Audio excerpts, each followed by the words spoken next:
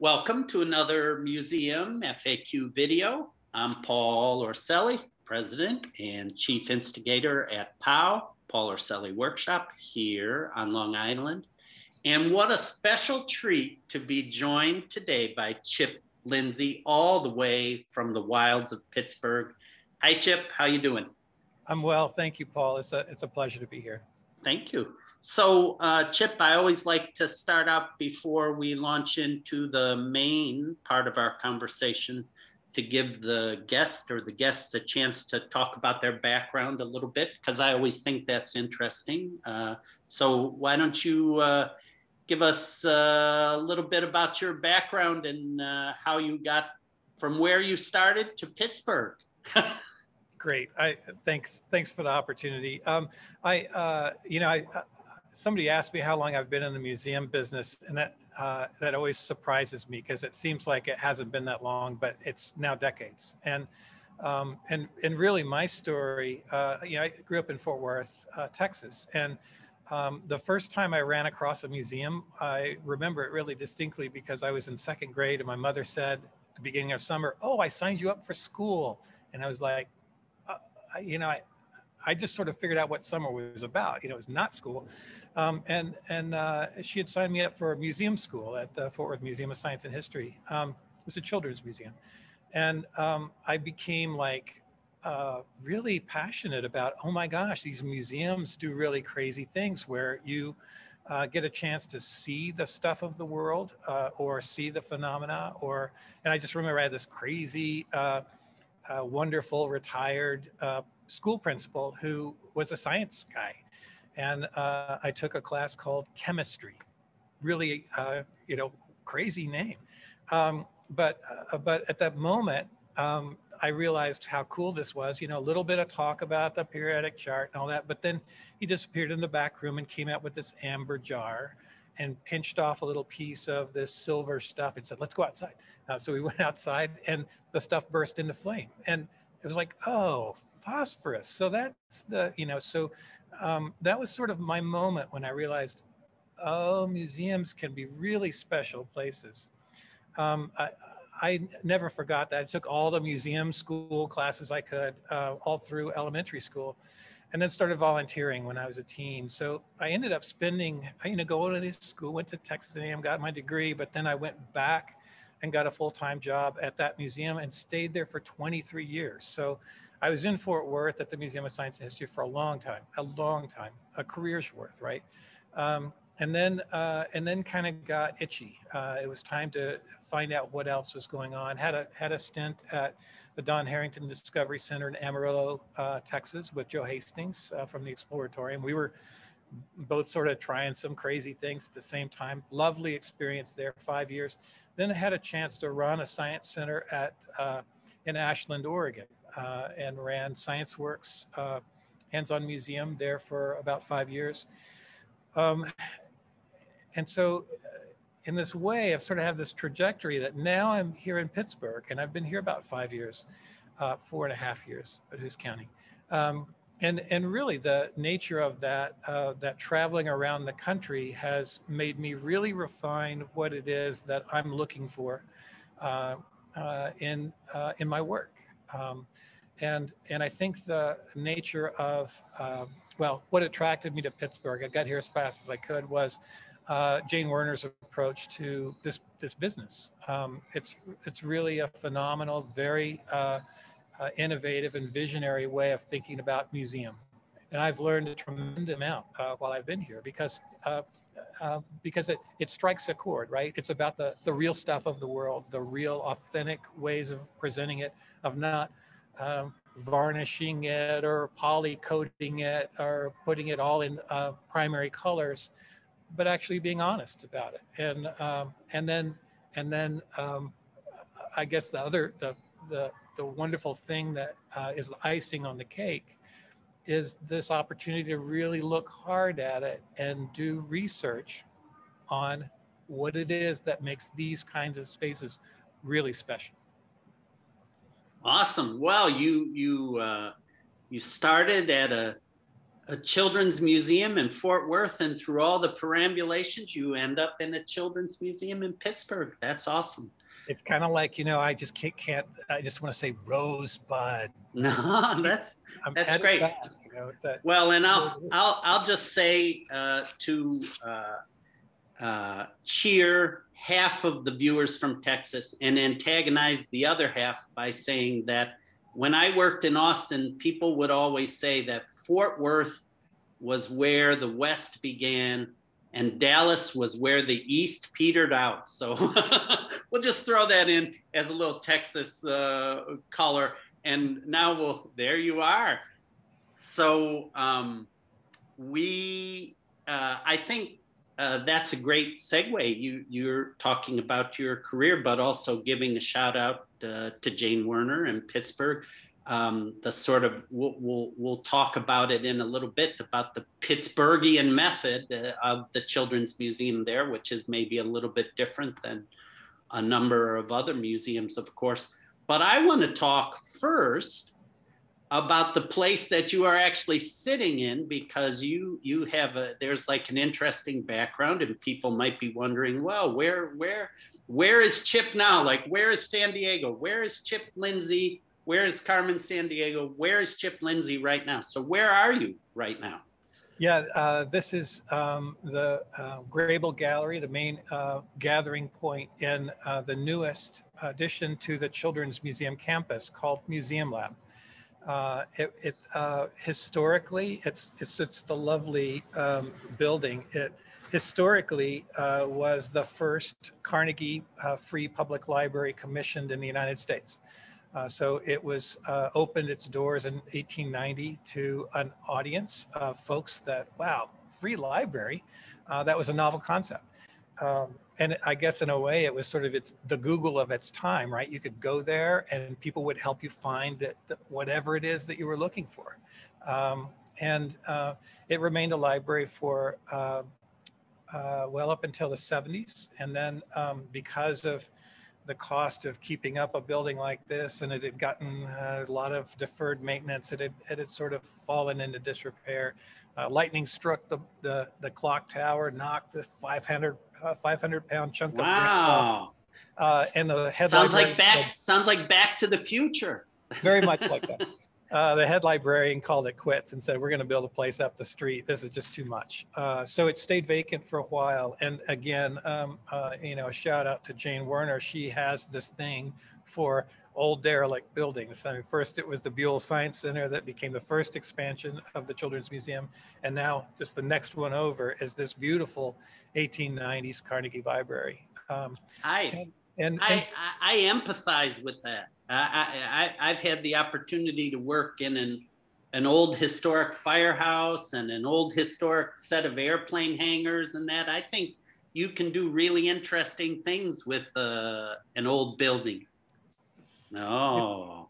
Uh, it is. I mean, this is like the, you know, um, tantalizing, right? Yeah. It's just magnificent, magnificent spaces, and then these great architectural, uh, I guess you'd call it relics of uh, the former glory of it. And, uh, and the architect, um, uh, Julie Eizenberg of Koning Eizenberg in uh, Southern California, really had um, an approach, which was the beautiful ruin. Um, which was a, a lovely way of, of uh, bringing this place back, uh, exposing its bones, but not saying we're going to restore it because there wouldn't have been enough money in the world to restore this to the marble and uh, grandeur, uh, millwork, and everything that was in this place originally. Um, but uh, but it does give you a sense of what the space was, uh, if you use your imagination a little bit, and also exposes the bones of the place, which are, you know, 1890s Pittsburgh. So it's a lot of steel, a lot of stone, a lot of, it's just, it's just a lovely place to come through, walk through, imagine, um, and then do some, uh, do some interesting um, things. Uh, well, let, let's let's talk about those things though, because uh, a museum is not well, you, I don't, I think it's fair to say you and I wouldn't say a museum is just a building. There might be some people who might think differently about that. So uh, now that you have this beautiful ruin and you have this as a canvas, what, what does that actually mean for the visitor experience in terms of exhibits and programming and of, course utilizing the building? Like what what's so special about the lab chip? Um, yeah I, I, guess the like the the, um, the the quick elevator tagline for what is museum lab is uh, it's a place for partnership um, of, of, organizations and uh, it's also a platform uh, for uh, little bets, small bets in, um, in uh, uh, the Venn diagram of school and museum. So on our second floor above us is uh, a middle school, Manchester Academic Charter School, which has about 120 kids when it's not the days of pandemic. Um, and sixth, seventh, and eighth grade. So they occupy, that's their home on the upper floor. when everything's in, in full swing. This is like the lunchtime. So you'd have 120 kids coming down through this floor and out uh, to go eat lunch. And, um, and so there's this life force, this pulse that moves through the building. Um, on this floor, on the, on the museum floor, we have three studio spaces, three lab spaces. That uh, one is a fine arts uh, lab space, one is a technology lab space, and a third is a making lab space. So each of those are, um, uh, are again, another a lab, a platform for, um, for creating projects, for creating ways of visitors, casual visitors that come in and go, what is this place? Uh, or for students to do prolonged uh, engagement with media, whether it's art or uh, tools or technology, um, to really sort of provide another outlet or another language for them to learn um, and then express themselves through. So um, it, it, sets up some really interesting uh, dynamics because we're blending or trying to blend so uh, two things that a lot of times are kind of like oil and water, which is the formal system of school and the informal free choice learning of museum and trying to figure out those places where uh, you can have a handshake or you can have a, a, a deeper engagement or what is the overlap, Venn diagram overlap of those two really different cultures. Um, so um, I, I, can go on and on. So well, no, I, this is I'm happy. That's why I invited you. I'm happy to have you go on and on. But I, one thing that struck me, in addition, like you, you, you, you, and the team there, obviously, uh, the entire team, uh, sort of set yourself um, I'm going to say two difficult challenges. You you've articulated one. I mean, this dynamic between the the quote formal education system and the quote informal education system, however you want to parse that. But but you also have, uh, I think it's fair to say, set out to capture in the museum world the mythical unicorn of older visitors. And so, uh, you know, every every, uh, every Children's Museum says their audience is from birth to age, pick an age, 13 or 14. And I say, you're dreaming. So, um, or, or, sometimes I say something even ruder, but let, let's just say that really most children's museums audiences are in the single digits. Let, let's, let's be a little bit honest about that. But uh, the lab, at least my perception is, um, you have deliberately set out to work with an older audience. So, what does that really mean in practice or in the development process too? Yeah, uh, yeah, you, you. Oh, no pressure, no pressure. You know, it was funny because we, you know, we opened this place up in uh, April of 19 and kind of just got our feet underneath us and then had to close. So we've been closed longer than we've been open. So um, that aside, um, we, we've had a couple of uh, opportunities to really take a look. One, one of them was uh, uh, one of them was through the Institute for Museum and Library Services grant, uh, an, a research practice partnership with Manchester Academic Charter School upstairs and the Children's Museum downstairs, um, to really look at how is it that we can uh, understand and build a relationship uh, between the two staff, two staff, so that um, so that the students benefit. Crazy idea. Um, and that's been going for a while. Of course, the pandemic has interrupted uh, our normal flow of that a bit. Um, but the yeah, like like we all haven't been interrupted um, on every level.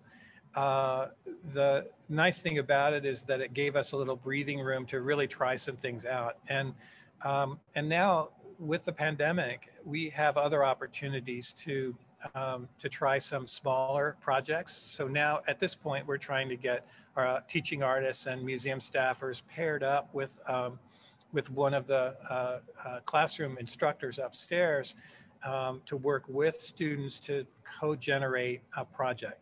Um, that feels really good because um, at that point you're getting the voice of the students, um, which is a, a, a, a purchase on that interchange between the formal and informal. Because what we've got on this floor is stuff that's too dangerous, too messy, too expensive for the typical classroom teacher to have access to, we've got it. Uh, or if we don't have it, we're happy to talk about how, how we can figure it out. Um, but then, um, but then what we're discovering is uh, this is my favorite part of this. We've been doing the after school program for that same age group in on this floor. Some of the kids from MACS are part of that after school program, and what we found is that um, is that they're like leading the way, like telling their teachers, hey, you know, they've got this stuff down here that could work great for, and then also chiding us saying, you know, they're doing a unit on, um, and so the students that that hard to reach age group is actually teaching us some things. Well, because you you've given them autonomy and you've given them a, a, an actual voice in the experience. They're not just a passive uh, recipient of the museum and the teacher's experience and largesse. They they actually truly are uh, a partner, a creative partner in the process, which is great.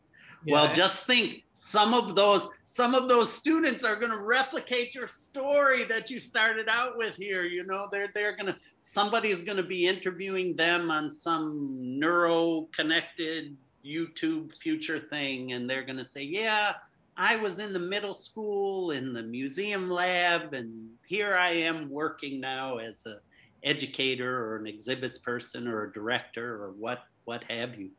Well, that's that's awesome. I, I um, you you know that I and everyone watching this is just that much more excited to come visit when the coast is clear, as they say. But uh, we so this will be an added incentive to people.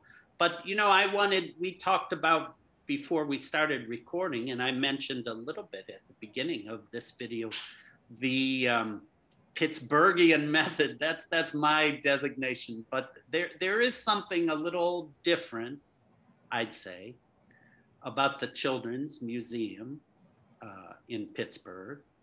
Um, you know, every I I was always warn my kids when they say, "Well, I'm unique," and I say, "Well, so is everyone else in the world, technically." So um, you know, they, they, it's it's fair to say that every museum is unique, but maybe there is something a, a little bit uniquer about what's going on in Pittsburgh. And I, I think, um, uh, although she might be embarrassed by us saying this, but we'll, I'm happy to invoke Jane Werner's name again. And, uh, you know, I think many people who work in the museum business realize that for good or bad, the the people at the top of the org chart have a have a have a lot to say about what happens and how money gets spent and which projects get approved. So th- there's that. But I'm wondering um, from your perspective, not not only um, with your work developing the museum lab, but also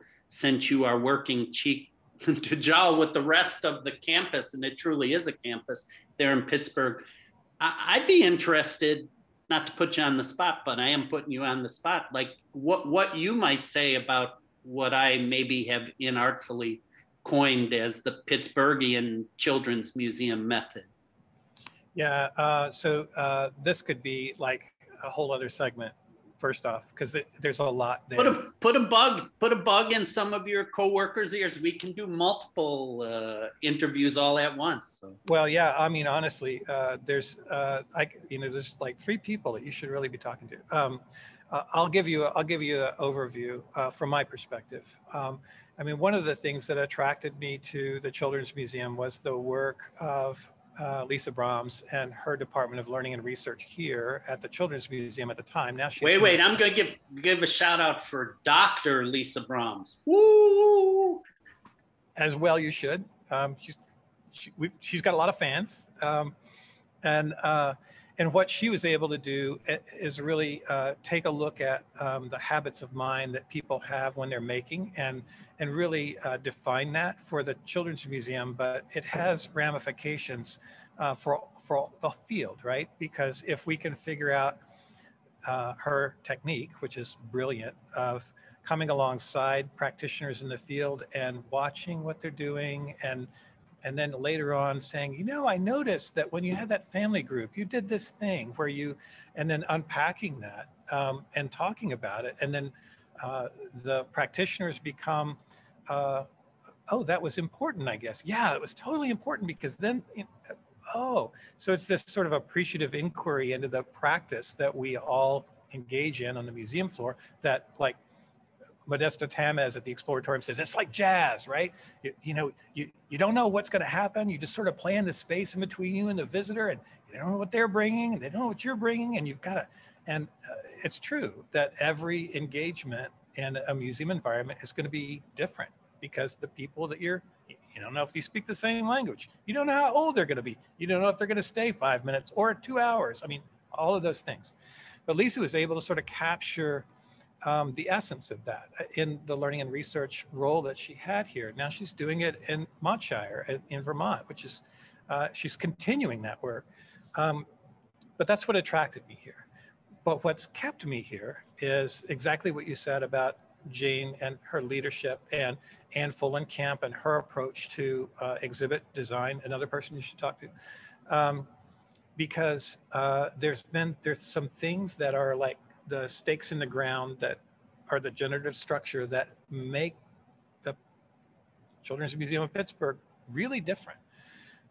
One is something that Jane says is that we're really not a children's museum. We're a cultural institution that's good for kids. So it's really looking at so what is the realm that we want to be working in? Um, knowing that art is really a key element of our content area, and then design is also part of our content area. Um, and so if you're doing this and having a cultural institute about art and design, that's also good for kids. Um, it means that you are understanding a fundamental truth that children are really aesthetic creatures, right? They're wide open. They sense so many things that we as adults don't see anymore. We've got the filters up, we've got our squelch turned way up, and we don't see stuff anymore. But kids see the texture on things, they see the subtleties in colors, they smell the spaces, they they're wide open to all the experiences that we as adults they, are they, of, they smear mud and paint all over themselves if they want to. Uh, all of that. Um, and and so if you really understand that and you honor them as learners then you're going to spend just as much time thinking about good design and good art because kids really get it um, and uh, you know, Anne says this thing I think is true. She uh, she says, you know, we sometimes um, do primary colors and gel coat. You know, like Technicolor, everything. Uh, do primary colors because kids need to know primary colors. Um, and it may be misguided sort of thinking from a design perspective that maybe the adult is trying to re- to recapture the world was when they were a child. Um, and not realizing that they don't need to do that. You know that the texture of wood is actually really lovely, and if you're a child, you pay attention to it, or the texture of a uh, stone, or the texture of um, everything. Um, and so, good design is good for all ages, but especially for kids. Um, and good art is good for everybody, especially kids. Um, so, like in the, uh, the gallery that we just changed out, I was uh, uh, one of the teaching artists said, "You know, it's in the gallery with the Warhols," and I was like, "What?" Yeah, the gallery that has the three Warhols in it. I was like, Warhols, really? Yeah, yeah, they're original Warhol prints that are on the wall.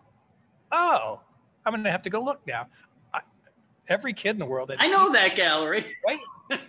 um, but it's that it that's that's some of the things that make this place so special. And and the other bit, um, the other bit that I'll just say is that I mean, forever our T-shirts on the back said "Play with real stuff" or "Create with real stuff."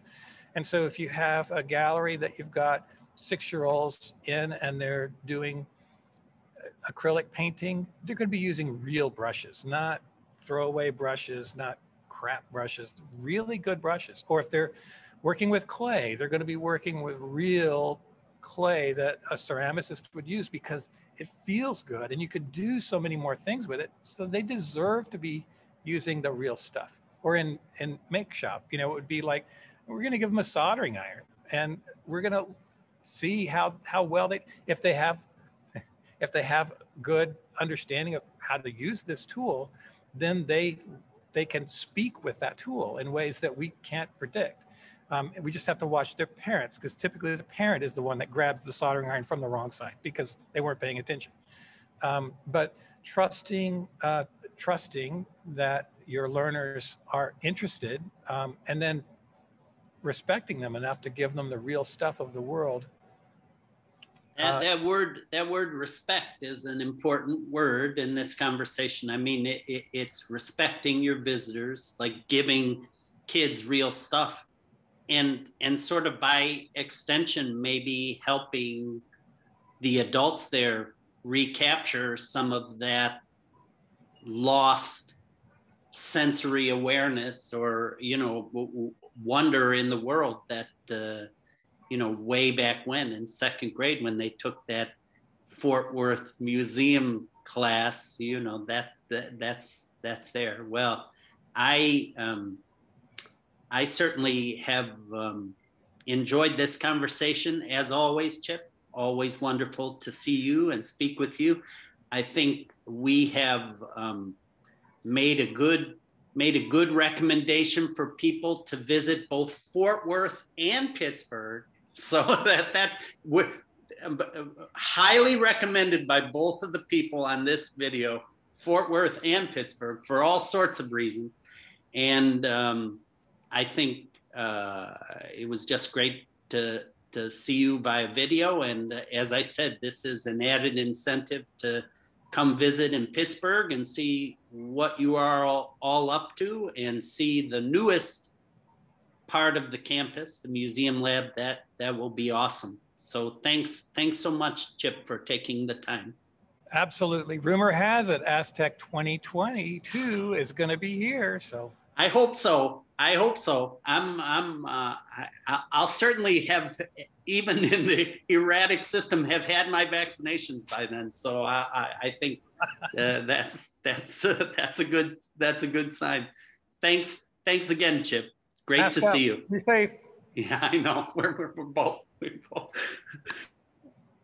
Thanks, Paul.